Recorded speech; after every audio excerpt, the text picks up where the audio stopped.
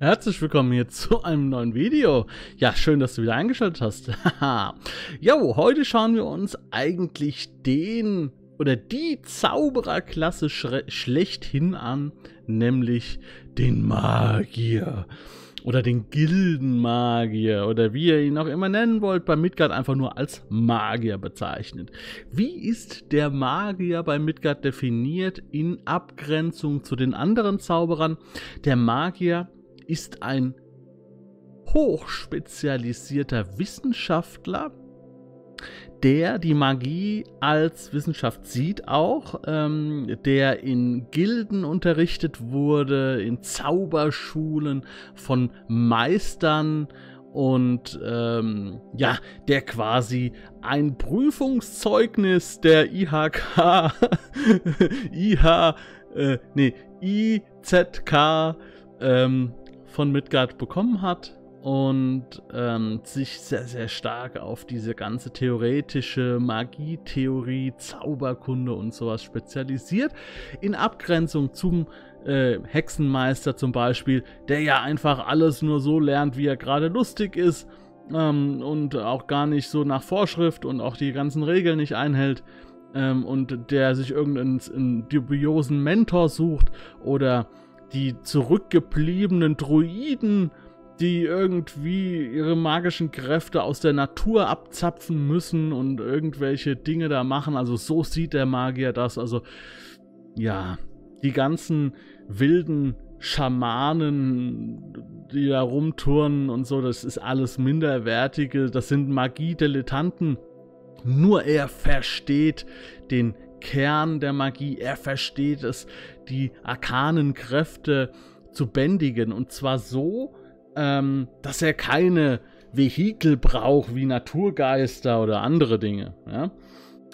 Ähm, und dementsprechend äh, ist der Magier, was das angeht, auch ein ganz spezieller, denn er hat eine Spezialisierung, die hat sonst niemand. Ja? Er ist ein, ein kleiner Streber.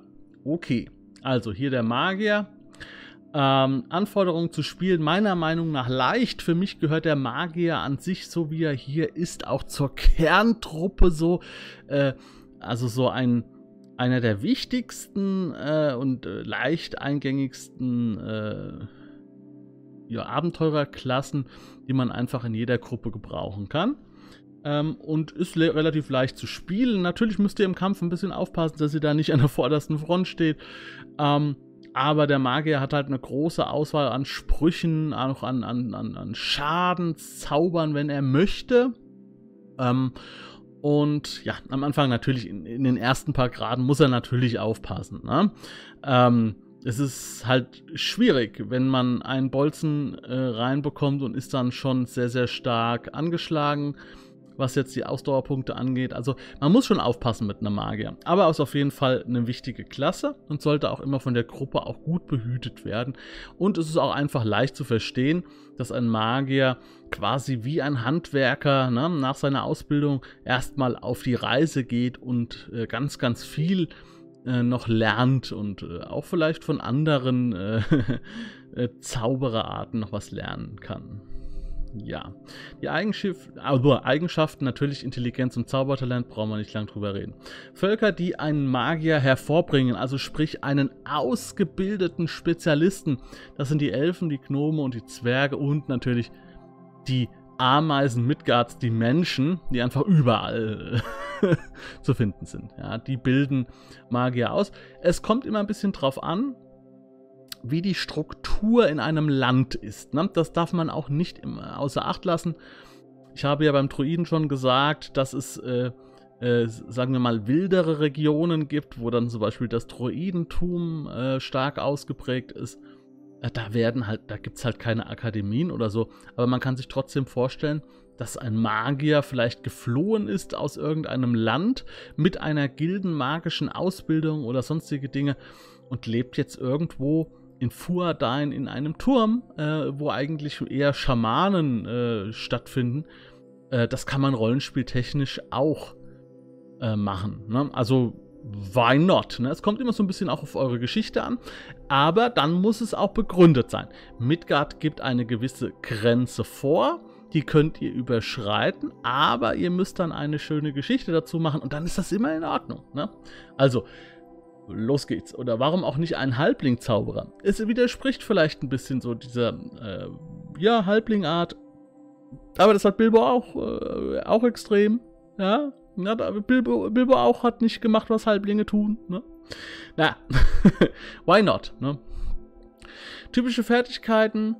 Äh, auf jeden Fall immer Schreiben in Muttersprache. Das ist bei den meisten Magiern oder Zauberern äh, dabei, ne, standardmäßig. Und sie bekommen standardmäßig Zauberkunde dabei. Zauberkunde immer ein schöner Spruch, äh, eine, schöne, eine schöne Fertigkeit, die man immer gut gebrauchen kann, um ähm, den den Sinn oder den Grund von Dingen zu äh, verstehen, äh, Zaubersprüche zu erkennen, wenn sie passieren, Zauber, ja, einzuschätzen, was das für ein Zauber ist, wie man ihn vielleicht umgehen kann oder sonstige Dinge. Also Zauberkunde ist schon wichtig, ja.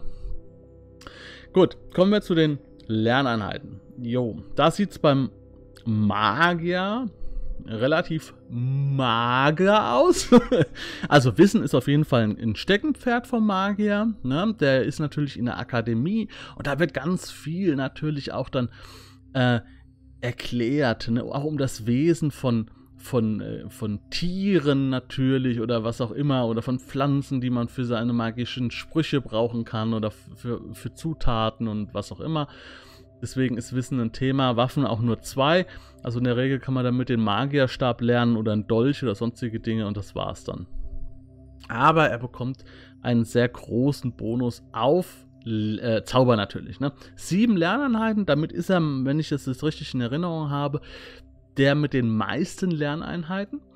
Und er kann alles lernen, außer Dweomer-Zauber, Wundertaten und Zauberlieder die bleiben ihm verwehrt, äh, denn sie sind, äh, die passen nicht in seine, hm, in sein Denkschema. Aber er hat noch eine sehr, sehr große Auswahl.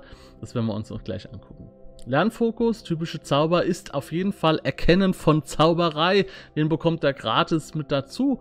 Denn er ist ja, wie gesagt, ne, der Wissenschaftler, der, der, der, der, der intelligente Denker, der Tüftler, der Herausfinder. Und er kennt natürlich dann auch Zauberei und will sie natürlich auch dann einschätzen und für dich, vielleicht auch für sich nutzen. Ähm, ein Vorteil, und den hat nur der Magier, ist, dass er eine Spezialisierung auf Zauber hat. Das bedeutet, er sucht sich äh, einen Zauber raus. Ich muss jetzt gerade noch mal nachgucken. Ähm, er sucht sich einen Zauber aus. Ich lese den Text mal kurz vor. Magier können sich in einer der folgenden Gruppen von Zaubern spezialisieren. Ah ja, das ist es schon. Er kann sich eine komplette Gruppe heraussuchen. Beherrschen, bewegen, erkennen, erschaffen, formen, verändern oder zerstören. Also das sind alle, ne? außer Tweomer, Wundertaten oder Zauberlieder. Ähm, und diese Sprüche, da ist er da ist er hin, äh, da zieht sie ihn hin. Da ist sein Interesse groß und er bekommt da einen plus 2 Bonus auf den Zauber. Das heißt, das ist für ihn wunderbar. Ne? Wir gucken mal rein in die Lernliste. Ne, wenn ihr den dann steigern wollt, dann bezahlt ihr zum Beispiel ähm, für Wissensfertigkeiten nur 10 Erfahrungspunkte. Na, wenn ihr die lernen wollt oder trainieren wollt und so weiter, dann nur 10 Erfahrungspunkte. Ähm, alles, was mit Waffen, mit Unterwelt, Halbwelt, Kampf und so zu tun hat, ist sehr teuer, kostet 40 Erfahrungspunkte. Also das Verbessern seines Stockkampfes auf normalem Wege ist sehr teuer. Eines Magiersteckens, ne? Ähm, was noch im ja, Alltag kann er einigermaßen normal lernen, aber der Rest ist auch alles ziemlich teuer. Also alle Fertigkeiten, die nicht jetzt unmittelbar mit Magie zu tun haben, äh, sind für ihn nicht so interessant. Ne? Da bezahlt er 30 oder 40 Erfahrungspunkte. Ähm, er kann ein bisschen was lernen, aber er ist nicht so der Wisser. Ne? So richtige Wisser, die so an äh, alles wissen wollen, in allen Bereichen äh, sich interessieren, die hatten wir ja schon bei den Kämpfern auch häufig. Ne? Also der Magier, der muss dann eher so seinen magischen Sprüchen treu bleiben. So was, ähm, ja, das Spezialgebiet, also nochmal noch mal eine kleine Ergänzung. Bei der Spezialisierung bezahlt der Magier dann auch verringerte Lernkosten. Also er bekommt einen Bonus von plus 2 auf zum Beispiel Zerstören und kann dann Zerstören auch für geringere Kosten lernen. Ähm, interessant ist hier, dass beim Magier es keine Abstufungen gibt. Ja, der, der Droide hat zum Beispiel ähm, Erkennen, also die Gruppe erkennen, also Zauber, äh, Zaubergruppe erkennen, da bezahlt er 120 Erfahrungspunkte. Ähm, oder Formen, da bezahlt er 60. Der Magier hat in allen Bereichen, also beherrschen, Bewegung, erkennen, erschaffen, formen, verändern und zerstören, hat er denselben Betrag, den er bezahlen muss, nämlich 60 Erfahrungspunkte und kann für seine Spezialisierung, die er auch frei wählen kann, ähm, da hat er dann, bezahlt er nur 30.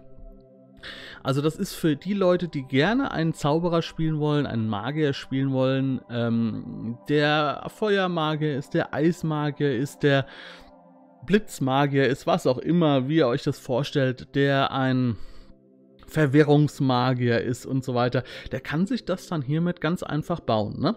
Das Grundgerüst heißt einfach Magier und wie ihr ihn dann spielt, wie ihr ihn dann ähm, welche, welche Zauber ihr ihm gebt und so weiter, das ist dann euch überlassen, denn alles kostet das gleiche, bis auf eure Spezialisierung. Kommen wir zu meinem Fazit. Ja, wie gesagt, ähm, von der Idee, wie man so einen Charakter spielen kann, ähm, von der Schwierigkeit her ist es relativ leicht, aber es ist eine kleine Fleißaufgabe. Denn wenn ihr einen großen Überblick haben wollt, dann solltet ihr erstmal eine Menge Zauber lesen. Hm. Naja, am Anfang reichen natürlich erstmal, wenn ihr die, äh, die ersten äh, äh, Grad 1 und Grad 2 Zauber lest. Was anderes könnt ihr ja am Anfang dann noch gar nicht lernen. Ähm, aber das reicht schon mal erstmal. Das sind schon ein Haufen Zauber. Ne? Es gibt viele verschiedene und äh, ich arbeite mich jetzt auch so langsam rein. Aber wenn ihr einen Zauberer spielen wollt, dann seid euch bewusst, auch als Anfänger, es macht einfach Sinn, erstmal die Zauber sich anzugucken. Ne? Wenn ihr da Bock drauf habt, dann ist es für euch überhaupt kein Problem. Wenn ihr so seid wie ich, dann nervt euch das. Also ich bin so eine Riesenauswahl bei Zauberern schwierig, aber ich taste mich jetzt langsam ran. Ähm, jo, alles klar. Ansonsten, Magier immer eine gute Klasse. Ich habe jetzt einen reinen Magier noch nicht gespielt, aber ich habe noch das ein oder andere noch nicht gespielt. Ähm, ich bin ja eher, also ich spiele ja meistens, oder im Moment, nein, ich, es ist schwierig ich spiele ja, oder ich spielte in der Vergangenheit ja lieber äh, Kämpfer oder zauberkundige Kämpfer, die so ein paar Zauber haben, ein bisschen übersichtlich, dann geht das. Ne? Aber ich arbeite mich natürlich rein, ne? Und, und äh, man spielt dann so dies und das und hat dann eine schöne Idee für irgendeine außergewöhnlichere Sache. Ich lasse das so auf mich zukommen und ähm, ja, mit meinem Druiden habe ich auf jeden Fall schon mal viel Spaß und ähm, ja.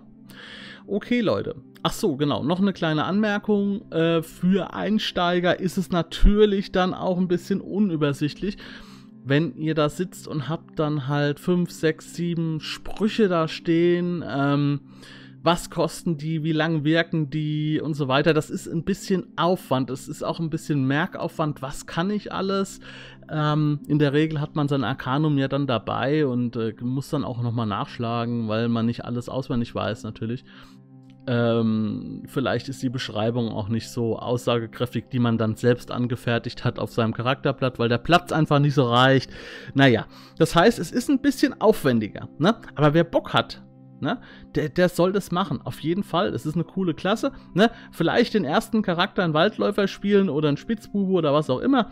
Äh, oder einen Glücksritter. Und dann der zweite Charakter, wenn man dann so das, den Kampf im Griff hat, dann geht man zum Zauberer über ist vielleicht der bessere Zweitcharakter als der erste. Jo, das war's von meiner Seite. Wenn euch das gefallen hat, gerne ein Abo dalassen und einen Daumen nach oben. Die Likes sind die Währung und umso mehr Likes und Kommentare unter ein Video sind, ähm, umso mehr merkt äh, YouTube, dass Rollenspiel äh, von Interesse ist. Das heißt, wenn euch das Video gefällt und ihr unterlasst es, einen Kommentar oder ein Like zu setzen, dann äh, weiß YouTube nicht so genau, ob das spannend ist und viele Leute bekommen dann Rollenspielthemen nicht vorgeschlagen. Ja, und das ist ja auch kanalübergreifend so. Ne? Das heißt, äh, viele benutzen dann die gleichen. Na gut, ich will nicht so genau in die, ins Detail eingehen, aber das sei ich nochmal mit auf den Weg gegeben. Denn der Magier, der ist es gewohnt zu lernen. Und ich habe euch jetzt gerade als, als äh, Mentor gedient und euch etwas gelehrt. Ne? Nur ein Stück. Okay, wir sehen uns im nächsten Video wieder. Macht's gut, Leute, und ciao.